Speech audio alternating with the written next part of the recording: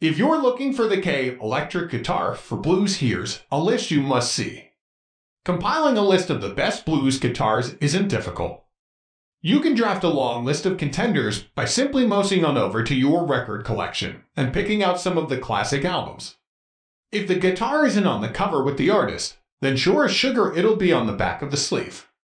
If you want to get a good quality electric guitar for blues according to your needs, then watch the video till the end and then decide to buy. So let's get started.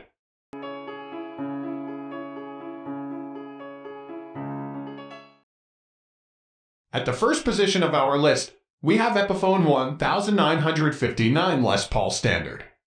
A collaboration between the Gibson Custom Shop and Epiphone has sired one of the most candid stars in the Inspired by Gibson series.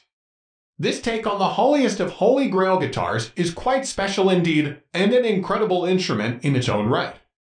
It taps into many of the design features that made the 1959 Gibson Les Paul standard the most sought after electric guitar in history. Here you've got a cornucopia of period inspired specs chief among them the weight and dimensions. The body is a considerable slab of solid mahogany. Right there you've got the guts of the tone, while an AA flame maple cap. Beautifully figured considering the list price and finished in VOSS gauge gloss, sprinkles a little high-end fairy dust into the voice.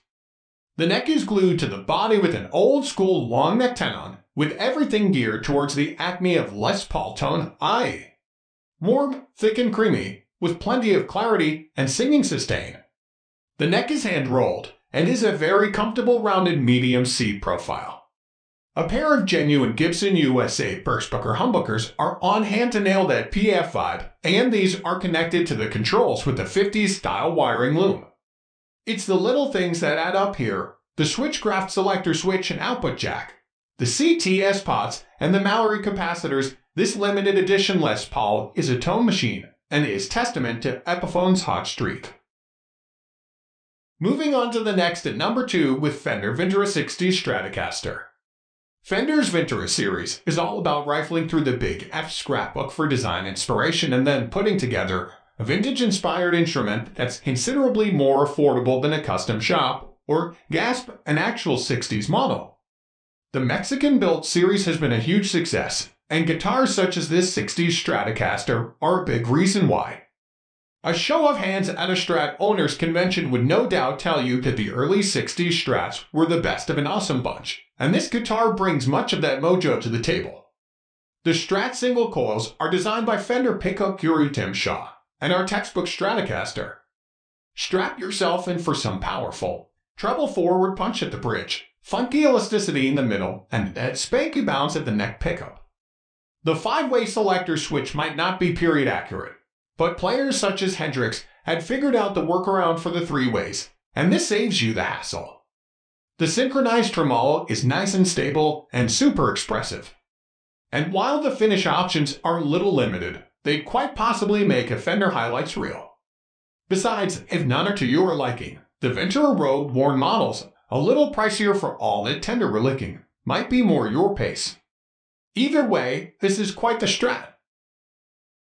The number 3 position is held by Gibson ES335. The ES335 is one of the most influential designs in electric guitar.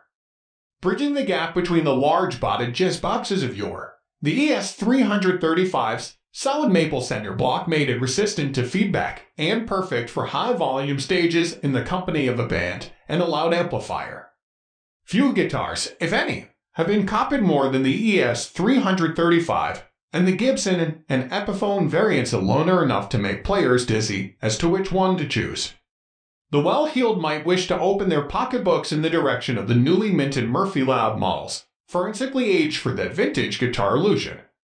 But the production line models are hard to beat, and you can do the aging at your own pace. Here you plow a body of 3-ply maple slash poplar slash maple laminate and a choice of classic finishes. A pair of calibrated T-type humbuckers grace the current models and are controlled via hand-wired circuit that features five 100K pots and orange drop capacitors. Drawing attention to such miscellanea is not cork sniffing. Such quality components ensure that the two-volume, two-tone setup offers fresh sounds with each turn of the knob. The ES339 recently returned to the lineup, offering a similar vibe to the ES335, only with a slightly smaller body, there is something undeniably agreeable about the proportions of the latter. Oh, blues tones. No matter where you park the three-way pickup selector, you'll find something musical and inspiring. Plug it into a deluxe or a similarly charismatic 2 combo and you'll lose a day. Next at number 4 we have Gibson Les Paul Standard 50s P90. We couldn't complete a list of the best blues guitars without one P90 option on the menu. While a junior would be tempting, certainly for the trigger-fingered rock and roll players who favor simplicity and lots of it, this 50s gold top with its fat neck aspirational build, and more easily intonated bridge takes the cake. It's a phenomenal guitar. Of course, some might say that if you're buying a Les Paul, why not get one with humbuckers? They're cool, too, of course, but for us it's hard to beat the tonal majesty of the P90 equipped models. What makes P90s great? They're single coils but wider sounding, more three-dimensional, and with a little heat to them. The drawback, of course, is hum.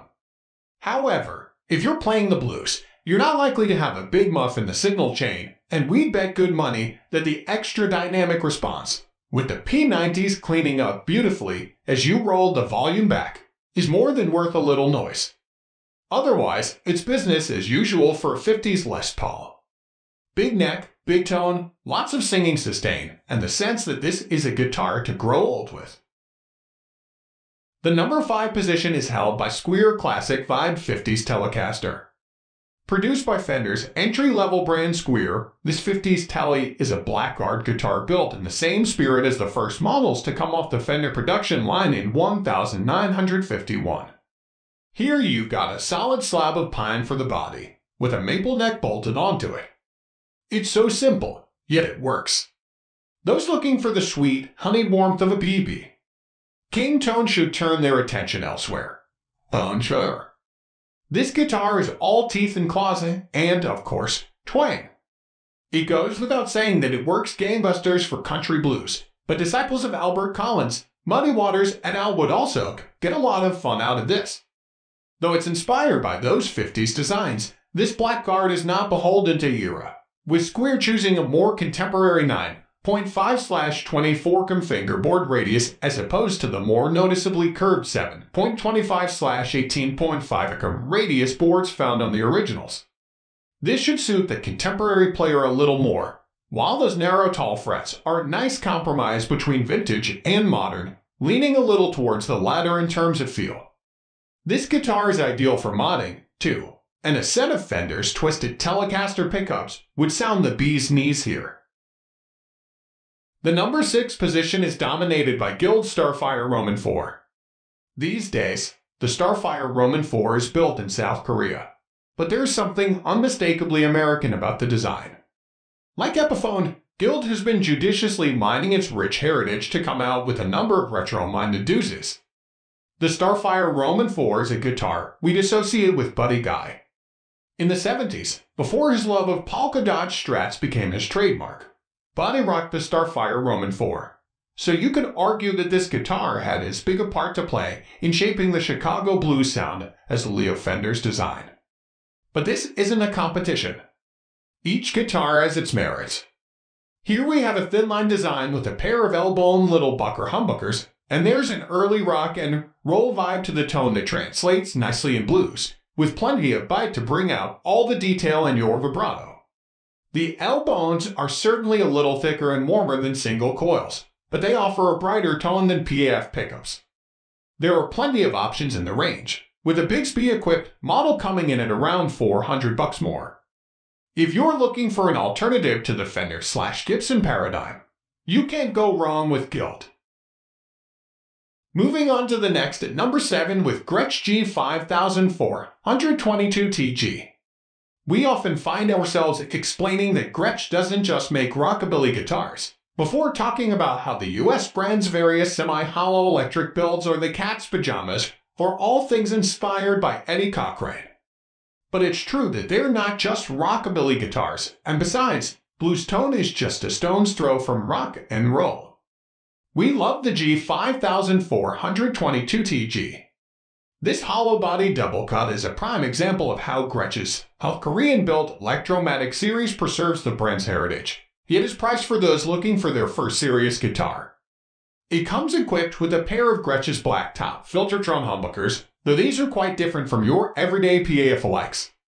They put a little more high-end sting into your tone, the Panda Gretschwang, if you will, and for blues, that makes a quite tantalizing tonal proposition. Dial in a little spring reverb, bounce the selector to the neck pickup, and you'll have a sweet, mellow, and resonant sound to take to the BB box.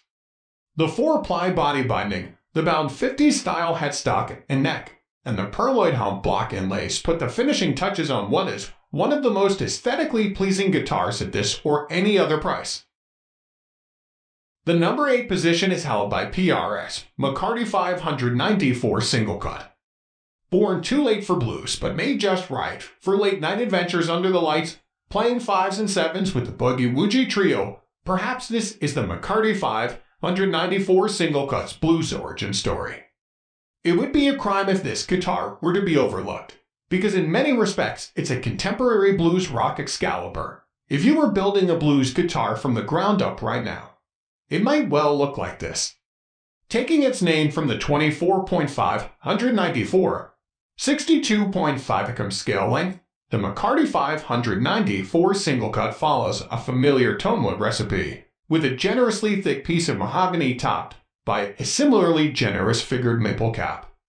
This being PRS, a myriad finish options bring out every bit of detail in that glorious maple. The 59 Les Paul standard is clearly the inspiration here, though it's neat to see someone shoot for that tone profile and feel in what is quite a different guitar. There's no mistaking the PRS touches from the open gear phase Roman three locking tuners to the forensic intonation care of the supremely well engineered bridge and Byrd's inlay on the fingerboard.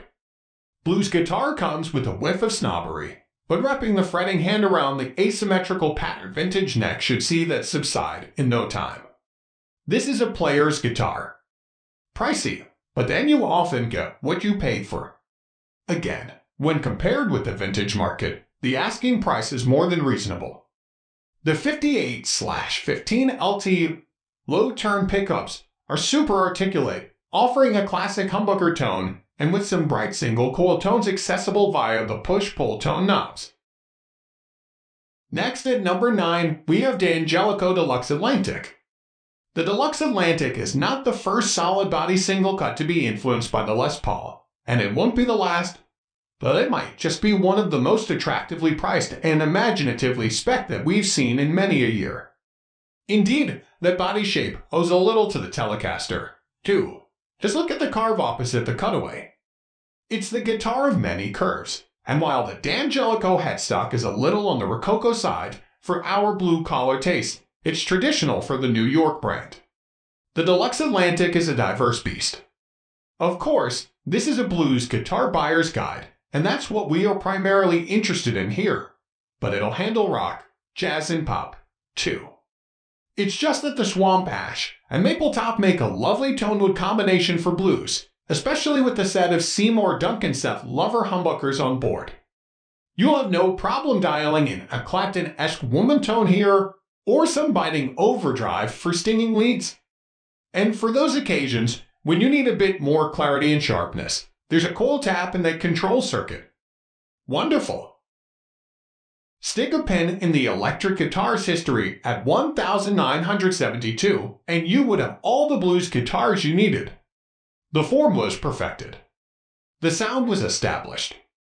In many respects, that shapes our search today because the best blues guitars are all building upon those very same design fundamentals that were pioneered in the pre-digital era.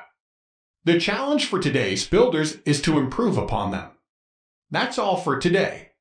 We upload music product review videos in every single day. So, don't forget to subscribe and hit the bell button for the upcoming video notification.